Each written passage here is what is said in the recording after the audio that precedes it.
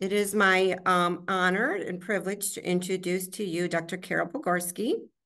Carol Podgorski completed her doctoral degree in sociology and has a master's degree in public health and in marriage and family therapy. She is professor and associate chair of faculty affairs in the Department of Psychiatry at the University of Rochester School of Medicine and Dentistry. She is also the director of the Finger Lakes, Finger Lakes Center of Excellence for Alzheimer's Disease and Director of Alzheimer's Disease Support Programs for the University of Rochester and the Geriatric Workforce Enhancement Program. So it looks like Dr. Podgorski, your slides are already up. I'm going to go ahead and mute and let you take it away. Thank you so much. Thank you, Tara. It's my pleasure to be here today. Um, and because of the audience is, is a mix between professionals and older adults and adults from rural areas, um, the content is geared uh, to be accessible to everyone. So let's talk about depression in older adults. Oh, I'm trying to, there we go. So what I'd like to do today is talk about how common depression is in older adult populations talk a little bit about how what symptoms of depression look like in older adults, and then talk about different interventions that people can do to reduce symptoms of depression or to help other people reduce symptoms of depression. So let's start with taking a look at what depression is. Well, there are many, many types of depression. And what I'm go going to be focusing on mostly today is major depression, which is probably the most common. Um, we're going to get into some of the diagnostic symptoms of major depression, but I just want to call attention to a, to a little bit about the differences between these types of depression. So in major depression, you'll see that we're going to go over nine symptoms that really characterize major depression. So for someone to meet the criteria for a diagnosis of major depression, they have to have at least five of the symptoms present during two weeks um, to a, a two week period. And the symptoms also have to result in depressed mood or loss of interest or pleasure in doing things. And we'll talk more about that. The other one I want to call attention to is persistent depressive disorder. We also used to call it dysthymia. And this is kind of a down in the dumps type of depression that occurs in people um, that it lasts usually up to two years, right? It's something that occurs most of the day uh, for more days than not. And when you think about Eeyore from Winnie the Pooh, he's he's like the uh, the poster child for persistent depressive disorder, something that's just always a little bit down. Um, and it's always, it looks kind of like a personality trait after a while. And then there's bipolar disorder, which a lot of people um, describe people as being bipolar, but there are really stringent criteria that have to be met to, to meet the criteria for that diagnosis. So bipolar usually causes shifts in someone's mood and energy, ability to concentrate, their activity levels.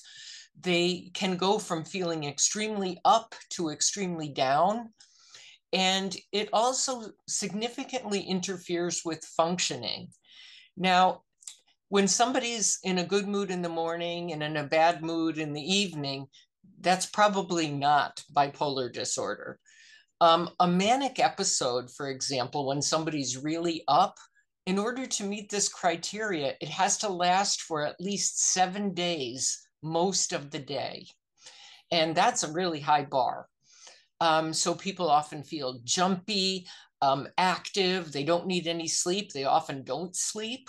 Um, they talk really fast about lots of different things and they develop excessive appetites. And, and that can be for food or drinking or sex or gambling or shopping. Um, I knew somebody once who went shopping and just started buying pens uh, somebody else was buying chapstick.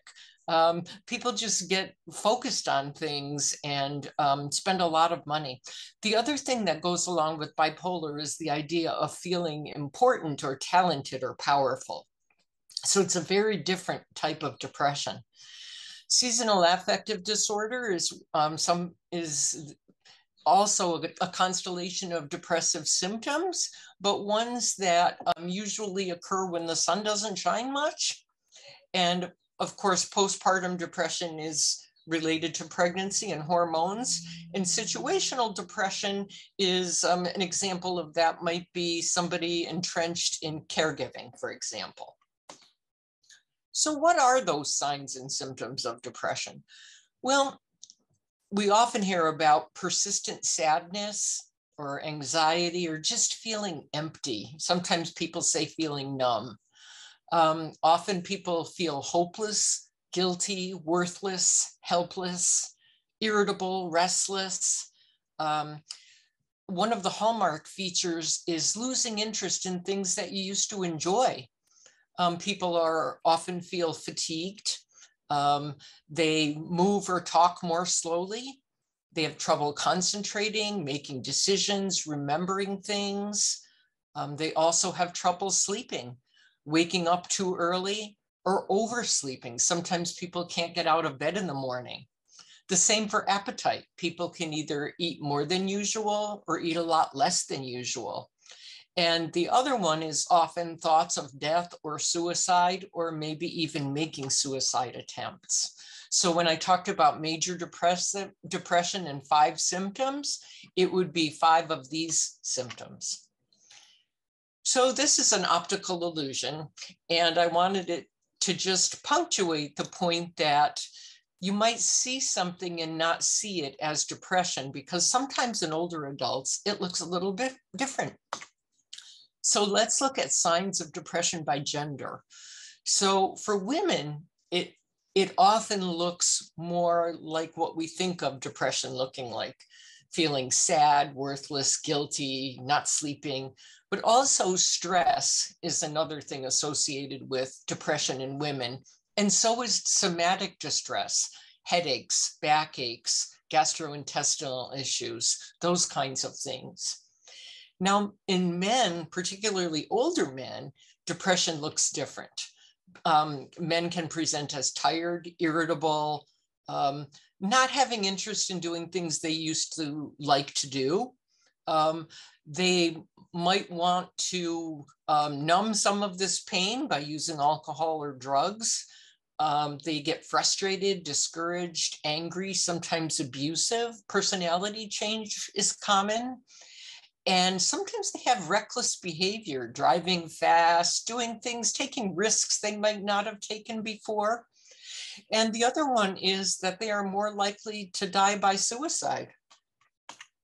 And I just want to deviate and veer into suicide for a second, just to um, show you this information from 2021 that looks at suicide rates among people over the age of 55. And you can see for men, look at the startling rate of 55.7%, right? For people over the age, men over the age of 85. That is the group that is most at risk for suicide. And compared to women, you can see a drastic difference. But look at how this really maps onto that sense of recklessness. And men are also more likely to use lethal means. So they're more, more likely to succeed at suicide attempts. So it's really something to be taken seriously. And because of the topic of our conference today, I also wanted to share this startling slide that looks at um, uh, death by suicide by rural, by gender as well as um, rural urban distinctions and look at the male rural population is at the most extreme risk. So what are some other signs of depression in older adults? Well, memory difficulties, personality change, aches and pains, um, fatigue, sleep problems, things that aren't caused by medication or can't be explained by a medical condition.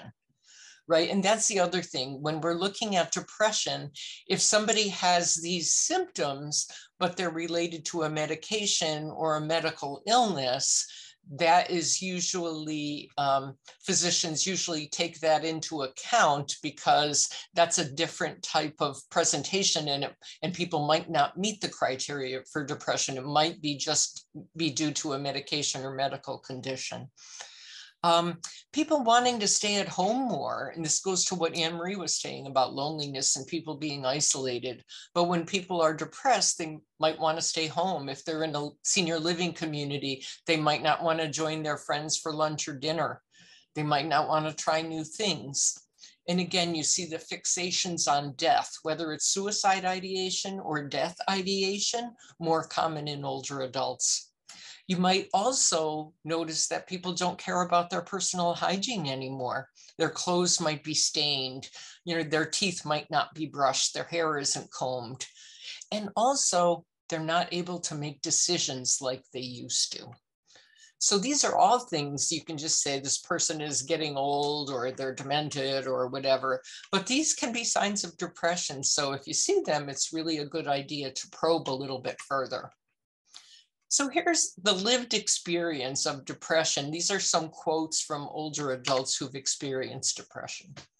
Depression is being colorblind and constantly told how colorful the world is. Just imagine what that must feel like. There's no point treating a depressed person as though she were just feeling sad, saying, There now, hang on, you'll get over it. Sadness is more or less like a head cold. With patience, it passes. Depression is like cancer. All it takes is a beautiful fake smile to hide an injured soul, and they will never notice how broken you really are. So I think these are these insights are really important in making us um, be more attentive to ourselves or to other people that we care about when we start to see these signs. So here's a good question, right? Is it depression or is it just a bad day? Well, in, in making determinations about that, we look at three things. The first one is frequency. I started to allude to that before, right? Um, it's if you're just having, you know, an off day or a couple of off days, something bad happened and you're feeling down, that's not cause for alarm. But when it starts to be most of the day, nearly every day for a period of two weeks, that's starting to meet the criteria for a major depressive disorder. The same for intensity. You can feel bad or guilty, but if you feel bad or guilty or worthless, or to the point that it starts affecting your functioning, that's a different issue. That requires a closer look. And the other one, as I said, is duration. How long does it last? So how do we measure that? Well, one thing we do is use the patient health questionnaire. And some of you might have completed this in your doctor's offices. It's a standard of practice, isn't always done, but it's a good standard of practice. And there's a screen. This is the screen for two questions and it asks over the last two weeks, how often have you been bothered by the following? Little interest or pleasure in doing things, or feeling down, depressed, or hopeless. Again, those are the two hallmark features of a major depressive disorder. And then you'll see um, not at all, several days, more than half, nearly every day. Again, we're looking at duration. And then uh, there's a question that says, how often um, have, the, have, well, you'll see in the next one, this is the PHQ-9, which is those same, I apologize for the smallness, but it's the same symptoms I talked about before. But it has one question on the bottom that says, if you checked any of these symptoms, how difficult have these problems made it for you to do your work, take care of other things, or get along with other people. So that's getting to the point of does it interfere with your function? So those are the three things that we look at when we're determining if somebody is in a major depressive episode. So what do those scores mean on the PHQ? So Um, if you score between zero and four, it means that probably normal. We don't need to worry about it. If someone scores between five and nine, that is in the mild range. And usually a physician will just keep an eye on it. It might be a situational depression, might just be a bad day. Um, and it's just something that it's a good idea to repeat the PHQ in another two weeks. 10 to 14 is moderate. And this is when physicians will generally develop a treatment plan or uh, talk with a patient about maybe seeking further services, um, considering counseling, psychotherapy. And this is when when physicians will start to think about prescribing medication. Medication for someone between five and nine is probably not going to be all that helpful and it's not usually a standard of care to think about it until someone reaches the moderate range. Um, and 15 to 19 is moderately severe, where um, this is where somebody would definitely take uh, have a treatment plan for active treatment with um, medication and or psychotherapy, usually both. And between 20 and 27 is severe. And this is somebody's probably barely functioning. Um, and this would generally call for the initiation of medication or um, maybe some other type of medical intervention. So how common is depression? Well, this looks at depression by age, with the blue, the navy blue being age 18 to 29, and the bars over to the right being 65 and older. So for any severity, you'll see that the young adults have the highest percentage at 21 and older adults at 18.4. But in our population, regardless of age, there's really significant rates of depression.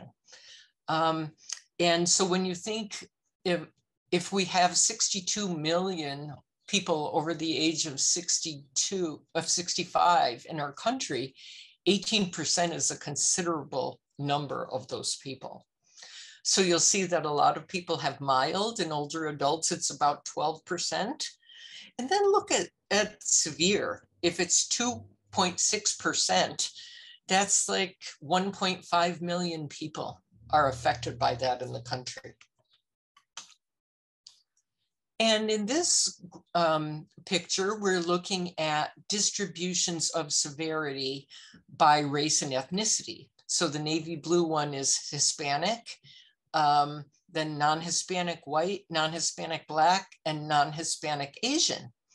And you'll see in the first one, with looking at any severity, that the highest rates are among non-Hispanic whites and non-Hispanic blacks and um, they stay, uh, those two groups experience the highest rates of depression also at mild, moderate, and severe. This graph is a look, is a look at prevalence of major depression by um, overall with, with a rate of 8.3% and then by gender, you'll see women 10%, men about 6%. This is for all ages. Then when we break it down by age, again, you'll see that the highest rates are among the young adults with the 50 plus dropping to 4.5%. And then we have a distribution across ethnicity. So this one is comparing older adults by male and female. And this is looking at geriatric depression scale scores. And you'll see that um, looking at normal, again, those rates, um, 78% normal men, and for women, 68% without depression. So when we look at mild, there are more women with mild depression. And it evens out a little bit at mild to severe with almost 6% for men, excuse me, and women in the um, category of moderate to severe depression. This is a look at adults of all ages who have who are um, LGBT. And it shows here that no matter what age group um, people from this population are in, the rates of depression are considerably higher than their counterparts in all age groups. This is a nice picture of um, rates of depression by per 100,000 adults across the country. And you can see New York State, and we are actually a state that is in the lowest, um, the lowest prevalence rates, even though our rates of depression are very high, we actually have uh, among the lowest rates in the country. So let's dig a little deeper into um, our region. Um, so people who've reported poor mental health, if we look at it by income, you can see that um, the lower the income, the higher the rates of depression. The last one that got kind of cut off is over 75,000. So people making over 75,000, the rates of depression are still 6%. But for people under 20,000, it's almost a quarter of the population. And here again, if we look by race and ethnicity for the Finger Lakes region, we'll see that um, it's highest for whites, followed by African Americans and Latinos again, as in the previous slides, um, show up with the lowest prevalence rates. Now, if we compare rural and urban, we'll see that rural and urban look about the same, with suburban being just a shade less. And this one is percent of population with a depressive disorder by each county in our Finger Lakes region. And the blue bar is data from 2016, and the green bar are data from 2018. And you'll see in almost every county, the rate of depression increased between 26 and 2018. And if we had a graph, this similar graph with more current data, I suspect that the trend would continue because we know that depression rates post-COVID have increased. Um, this one shows us that the highest rates of depression are in Livingston County, followed by Steuben and uh, Wayne County closely following behind. And we also see that um, the lowest rates of depression seem to be um, in, well, Monroe County seems to have a low rates, Yates County, um, and Seneca County had a drastic increase in depression rates in those two years. So I thought that was interesting to look at. If we look by type of health insurance, we see that people who have no insurance have a pretty high above the average rate. People on Medicaid have the highest rates. Again, this could be tied to the income, and people with private insurance are about 10%. The New York State Health Foundation uh, produced a wonderful report about the ongoing impact of COVID on mental health. And I just want to share some data from that. So there are four bars you'll see that from the orange, dark orange, bright orange to the pale orange. Those are the years 2021, 22, and 23. So the pale bar is 2023. And you can see here the an annual anxiety and or depression rates by income group. And once again, we'll see that um, even people making over $100,000 still have almost a quarter of people reporting depression. And then if we look at the people with less than 25,000, the rates are double. So they're not low even for those over 100,000, but they're staggering for people making less than 25,000 household income. Looking at those same rates by age, this compares young young adults, middle-aged adults, and people over the age of 65. And this one shows us that um, about a quarter of the over 65 population are reporting anxiety and depression. This one looks at race and ethnicity. And In this one, you'll see a different number than what we've seen before. And I think what's interesting, remember, we didn't see the Hispanic rates as being very high for depression. But what's different about this picture is that it includes anxiety.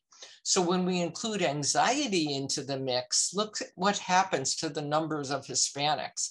It's higher than ever, whereas they hardly show up as depressed at all. So that tells us we have to look for something different when we're working with Latino populations. And this one I thought was interesting, which is a look at these rates by food sufficiency. So you can see the rate of depression and anxiety is almost double for people who report that they don't have sufficient food available to them. Now let's talk a little bit about rural and urban differences. So this was um, a study that was published in 2024 and um, it looks at older adults over the age of 80 living in rural communities and showed that those older adults reported a higher prevalence of depression compared to urban. So that was a comparison of 49% to 33%. The other thing we need to look at is the lack of mental health providers. Um, this was another study done in 2020 that said that nearly 65% of counties considered non-metropolitan do not have psychiatrists, nearly 65%. And over 60% of rural Americans live in a designated mental health provider shortage area, another staggering number. And we also know that specialty mental health services are scarce, which contributes to these disparities in care. This is a picture of what mental health professional shortage areas look like in our Finger Lakes region, with the dark blue being a designated shortage area. Maps onto that national study very well.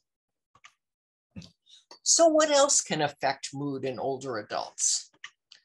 Well, one thing we often think about, I work in the memory care program at the University of Rochester, and sometimes we get referrals for people and we're trying to figure out if they have depression or if they have dementia.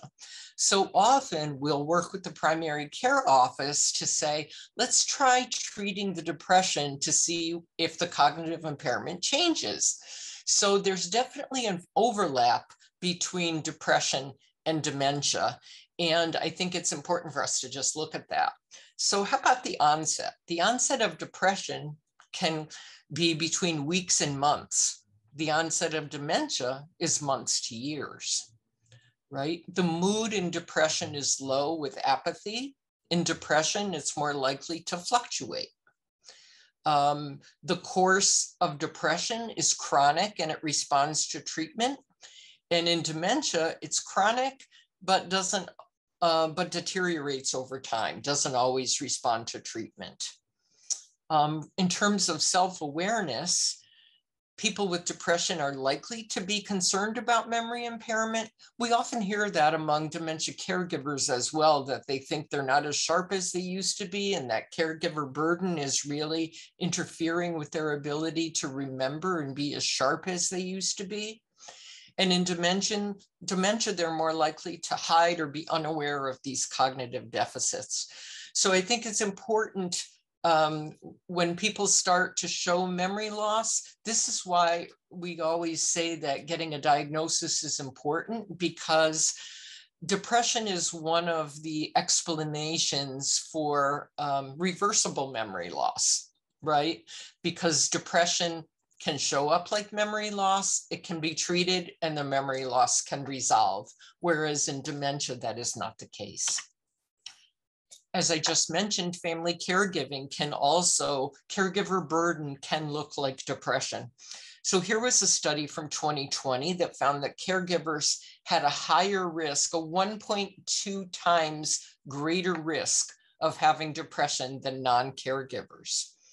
And they had higher levels of depression pre-COVID at 16% compared to 12 non-caregivers And during the pandemic, it went up to 21% compared to 18% non caregivers. The loneliness associated with caregiving also increases the risk of depression fourfold in caregivers. They have a 3.85 greater likelihood of being depressed if they're lonely than if they're not lonely. The good news is that when they access therapy, it attenuates the risk of depression. And this one is more um, disappointing or discouraging that 60% of caregivers with depression said that they don't or didn't access any therapeutic support during the pandemic. Another thing that affects um, depression is sensory impairment. Uh, there was a study, this one was done here in, in Rochester, looking at um, clinically significant depression and anxiety symptoms in people with auditory impairment, vision impairment, or dual, meaning both. So you can see for auditory impairment, 21% um, depression, 22% anxiety. For vision, it jumped up to 28% and 23%. And for dual, look at those numbers 46% people had depression and anxiety, and 36% than in older adults with no auditory or vision impairment. Uh, the other interesting thing about this study, said older adults with auditory and or vision impairment were older, more likely to be widowed or never married, had less formal education, and had higher um, medical comorbidities and more impairment in their daily function. Another thing we talked about was loneliness. Older adults living alone were more likely to feel anxious, 38%, or depressed, 27%, um, than compared to people without, um, who didn't live alone. Another thing that gets confused with depression is grief. And grief is a, is a different thing. And the diagnostic manual for a diagnostic and statistical manual for diagnosing mental disorders specifies that you have to look at grief very differently and that you can't say that grief and depression are the same things. So they describe grief as being like a roller coaster and there's a lot of emotions. If any of you have ever been to a, a, funeral home, calling hours, someone's home after someone passes, you usually do see a mix of emotions there because people are recalling good times and being sad over the loss. And there is definitely a fluctuation of how people are feeling. Um, so even when people are grieving, they're able to have moments of pleasure or happiness. And if we think back on the diagnosis of depression, we saw that there's not as much fluctuation in depression. Um, right, those, those feelings are constant. And while there's no timetable for grieving, it doesn't, if it doesn't let up over time, then it might be depression. So um, there's also grief. And when it gets into what we call complicated grief, about lasting perhaps between one and three years, that might be time for um, intervention. So what do we know about attitudes about depression? Well, here is a study from Mental Health America that looked at how older adults feel about depression. And what they found in their survey was that almost 70% of older adults know very little or nothing about depression. About 40% of older adults believe um, that depression is a health problem. That's less than half people thinking that it's a health problem when we know that it indeed is. If suffering from depression, older adults are more likely than any other group to want to take care of it by themselves. They don't want to seek help. Only 42% said that they would seek help. And Signs of depression are mentioned more frequently by people under age 64 than by people over age 65. And the last bullet there says almost 60% of older adults believe that it's normal for people to get depressed as they grow older. In reality, that's not true. In reality, studies that have looked at life satisfaction have found that people over the age of 75 happen to be the people who are most satisfied with their lives. Here's another study done in 2020 that said that um, depression was viewed as a normal reaction to life stressors and aging again, this one corroborated the previous study and said that older adults prefer to manage things by themselves than to seek out help. Um, and that um, professional interventions were sometimes considered necessary for severe depression, uh, but a lot of per, a lot of people didn't really have a lot of faith that professional intervention would make a difference. Um, there was a willingness to try treatment, but it was based on different um, values, different cultural beliefs. Um, and a lot of people thought that there was a potential for harm. I've often seen in older adults, if they start an antidepressant medication, if they take it and have one symptom that day or the next day, they're not taking it anymore. Whereas the physician and the prescribing materials will usually say you have to give it a couple of days till your system gets used to it. Older adults are less likely to give it a couple of days.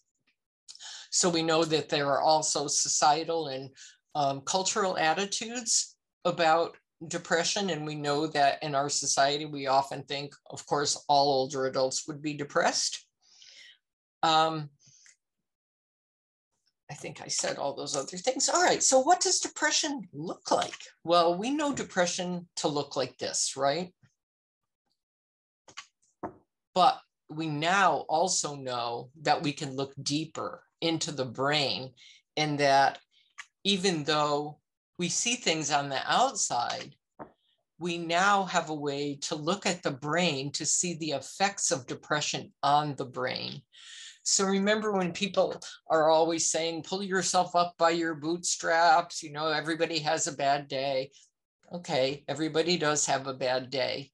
But now we have the technology through brain imaging to show that depression actually makes a difference. So here's a brain scan.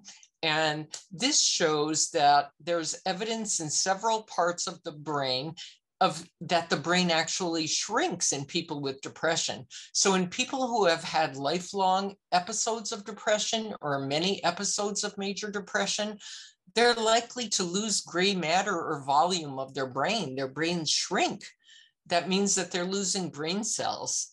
And it particularly happens in those regions of the brain called the hippocampus, which is responsible for learning and memory, and in the prefrontal cortex, which is the part responsible for thinking or planning or doing complex tasks or sequencing things. Here's a picture of a PET scan of a depressed brain on the left and a non-depressed brain on the right. Look at how the regions on the right are more alive and working, and how all those regions in the depressed brain are really inert. So if we look at the this just uh, cartoon of the brain, we see all the things that the brain is responsible for. So if we look at those regions in the depressed brain that aren't working, you can see how it would show up in thinking or our memory could show that it's impaired. It might look impaired.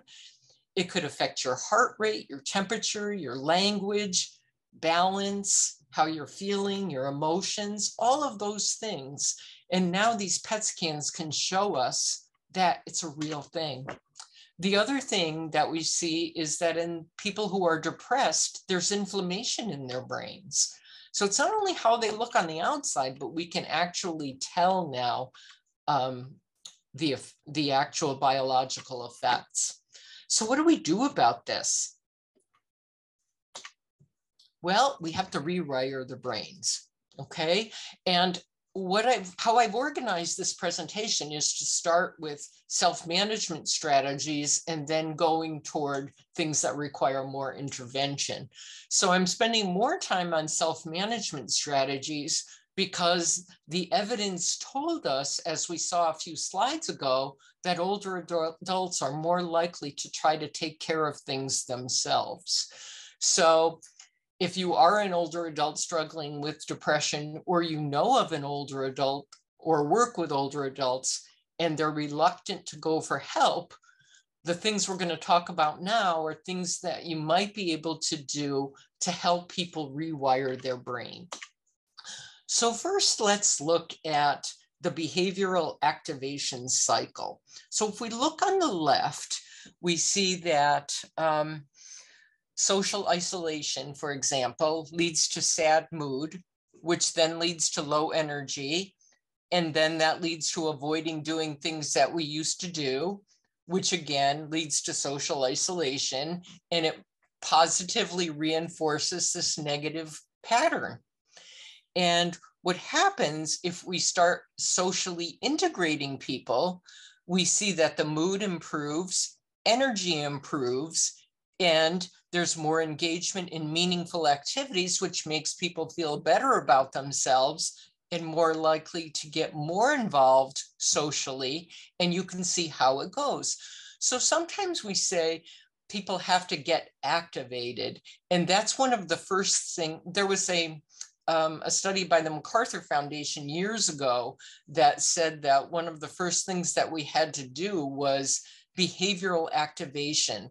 And some of you might have heard of the pleasant events scale. That was something that came out of that work that said, let's give people a list of pleasant events or things that they might be able to do just to start getting those regions of the brain that aren't lit up to light up. So part of this has to do with neuroplasticity of the brain. So we know that depression causes the loss of synapses in the brain. Synapses are those things that, are, that connect the brain, that connect the regions of the brain. And if we lose them, that's why our brain stops functioning like we saw in that PET scan. But one thing that we know is that the brain has the capacity to continue to grow in response to life experience. So we have to consider the brain to be like a muscle, and we can train it and we can strengthen it. So our ability to adapt or change by creating new neurons is possible by activating, take, doing some behavioral activation. So what do we know about how the brain benefits from adaptation? Well, we know that brains can recover from strokes, right? It takes a lot of hard, hard work, but it is possible to get to restore some recovery. We've seen people recover from traumatic brain injuries. Um, people have been able to rewire functions I don't know if any of you have ever seen stories like on 60 Minutes or any of those shows that show that after an auto accident or a TBI, somebody might end up um, being a prodigy in music or in art, or how the brain was damaged in one way. The brain started to compensate for what it lost by developing um, areas of expertise in something else. And those are startling examples of neuroplasticity. Um, so that's losing function in one area of the brain may enhance functions in the other. Um, this adaptation may enhance our memory abilities and our cognitive abilities and help us to learn more effectively. Sometimes we think older adults can't learn as well as younger adults, but what we know is older adults take more time to learn information, so they're more likely to remember it than younger adults who can learn things more quickly. So how do we promote neuroplasticity? This goes into this, these um, trying to manage depression yourself bucket. So participating in positive social interactions, trying new activities. Uh, there's actually quite um, a base of literature, a base of evidence developing now that playing video games for older adults is one of the best ways to promote neuroplasticity. And you can just imagine playing games with grandchildren and connecting with them around things like this would have other positive effects as well. Um, finding stimulating environments or settings to put yourself in, um, participating in mindfulness meditation, seeking a purpose in life. So I have to pause now and say, sounds great, but when your brain looks like that one in the PET scan, how on earth is it possible to do this when somebody can't find a reason to get out of bed in the morning? That's why we have to set our expectations low and start with just doing one thing. Take a walk around the block. Um, just start with the most basic of things, making a phone call. Um, and any one of those things is going to start getting the neurons to start connecting. But we have to understand that you can't go from zero to 60 in this. These things take a lot of time when somebody's brain is really not functioning. So here are some other things that have been found to promote neuroplasticity. Intermittent fasting. You might have heard about that. That's when people reduce the number of hours between meals um, or I'm sorry, increase the number of hours between meals to maybe up to um, 12 or 16. Um, that's found to increase this synaptic adaptation and help new neurons to grow. Of course, I wouldn't do that without consulting a physician because that could really be a problem for medications or other medical conditions, but it is something that can have an impact on the brain. Traveling and it doesn't mean you have to travel you know to europe or africa right?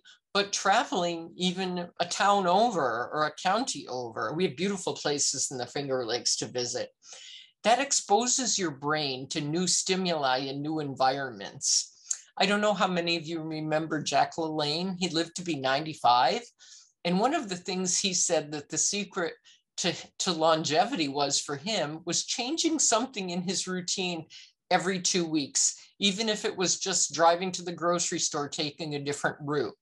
Whenever you do that, you're not relying on your brain's memory. You're introducing new stimuli that your brain has to work to process. So, traveling is a great way to do that.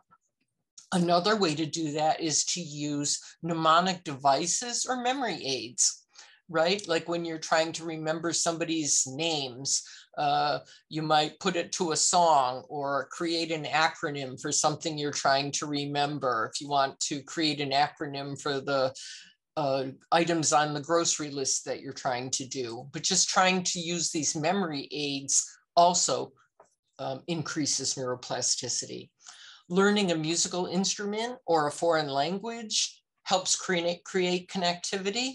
And we also have programs like OASIS or in Rochester, the Osher Center, or there's a lot of online things too, where people can actually learn these things in the company of other people where you're getting um, double benefit. Non-dominant hand, this goes to the Jack LaLanne thing too, right? Try brushing your teeth with your other hand right? Try doing something different, again, just to rewire your brain. Try signing your name with your other hand. Anything that's going to challenge your brain. Reading fiction. Some of us might be attracted to watching the news and reading news, but reading fiction has been found to increase connectivity in the brain.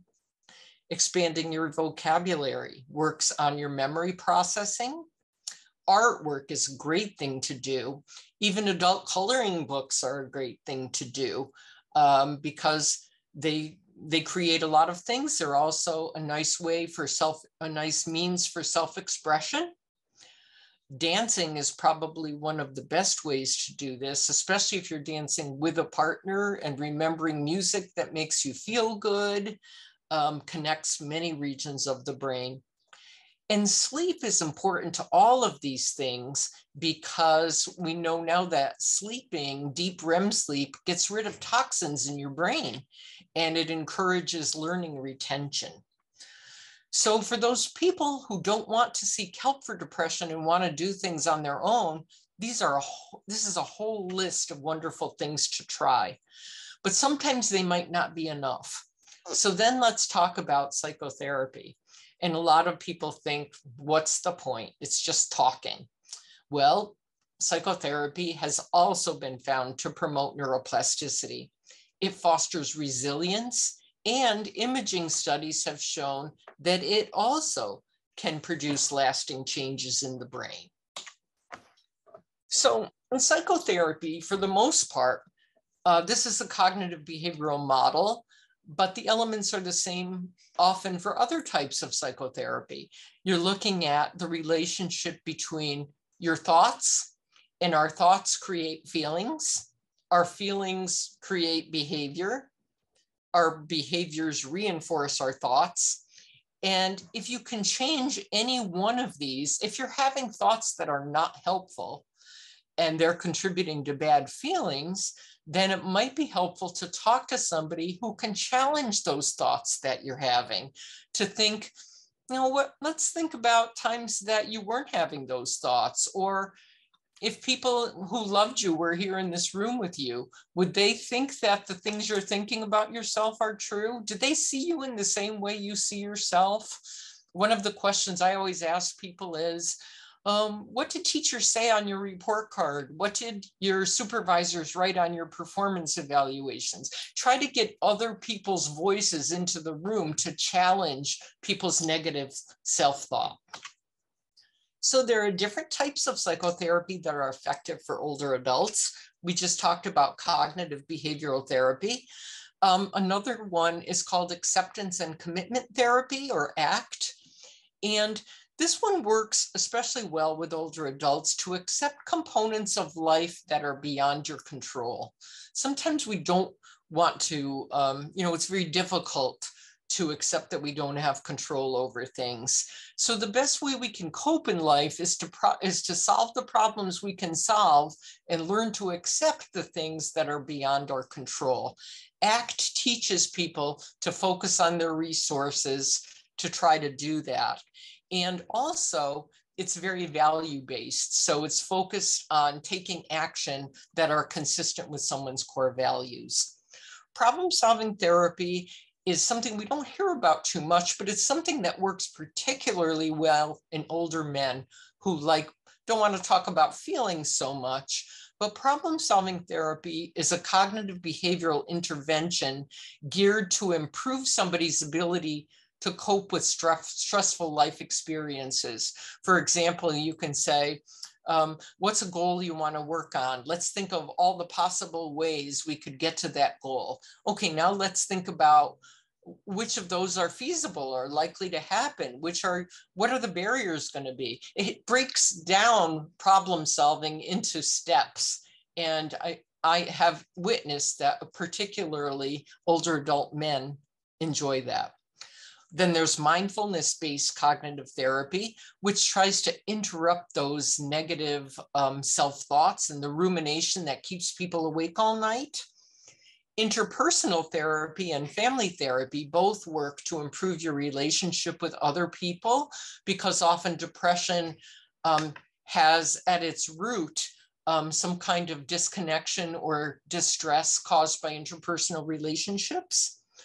Then there's reminiscence therapy that provides perspective and acceptance of one's life, including resolution of past conflicts. It's also been found to be very helpful in helping older adults create a narrative that they want to share about their life with other people. And we also know there's value to art therapy and music therapy going back to the neuroplasticity. Not going to talk about medication because I wanted to focus on non-pharmacological interventions. But again, when someone scores higher than 10 on the patient health questionnaire, it's a good idea for a physician or a healthcare provider to ask about that. Then there are brain stimulation therapies. And I'm not going to get into too much about this, but when those other things don't work, sometimes there's treatment resistant depression. And now there is a whole new um, type of stimulation therapies, a whole new domain of the treatments involving drain, brain stimulation. And these use electricity and implants or magnets to trigger brain activity. Again, trying to get those depressed regions, those blue, blue regions of the brain to turn yellow. Um, deep brain stimulation is a surgical procedure. Um, it places electrodes in the brain that de delivers a low impulse, a low level impulse. Then TMS is a new, newer one, a transcranial magnetic stimulation, which is non-invasive. And then there's vagus nerve stimulation. Again, these are used when nothing else, courses of other medications, many types of courses of medications haven't worked. Um, so what is the likelihood it's gonna work? Well, the New York Times says you're not too old to talk to somebody and they reported on studies that found that therapy can be helpful in older adults. Another one, older adults respond better to psychological therapy than working age adults. And talk therapy may improve depression and anxiety in people with dementia. So there is an evidence base and it's much larger than this slide suggests that shows that it does work. So who can treat depression? Where do you go when you decide that you need help? Well, Psychiatrists prescribe medication. Psychiatrists sometimes also work on psychotherapy, but um, it's not as often and it's often very expensive, but they're mostly prescribing providers, um, but not exclusively. Psychologists also can do all those types of therapy that I talked about, but they also can do neuropsychological evaluations to try to do um, batteries of testing to help with diagnosis when it's not clear, for example, if something is depression versus dementia, or if somebody has attention deficit disorder, if is it a concentration issue. Psychologists can help ferret those things out. Nurse practitioners can also prescribe medications as psychiatrists can. They're also happen to be more of them in rural areas, so there's more access to prescribers if you use nurse practitioners. Then there's um, licensed clinical social workers uh, and LCSWs, marriage and family therapists, and mental health counselors are all master's prepared uh, clinicians and they all have a little bit of a different focus on how they do their work, but they're all um, licensed in New York State to be able to diagnose, assess, and treat um, mental illnesses. Then there's also a whole class of creative arts therapists. We often find them more in residential care settings here, but they are in the community as well and also do amazing work with older adults with depression. Pastoral counselors are not licensed providers in New York State, but some people find them very helpful and many pastoral counselors do have some training in um, helping people with uh, mental health issues. So the other things that can help are pets. Pets are a great source of support and can help people become more activated, give people a sense of purpose. Um, family members can also help by pushing people into those activities that promote neuroplasticity and behavioral activation. Neighbors can be a great source of help, and so can senior centers and friends. Here's um, a list of resources where you might be able to find some help. And that's it.